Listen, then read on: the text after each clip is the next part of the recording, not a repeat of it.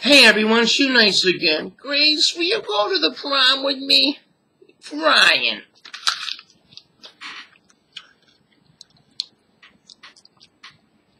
Just go with them, Grace. Thank you.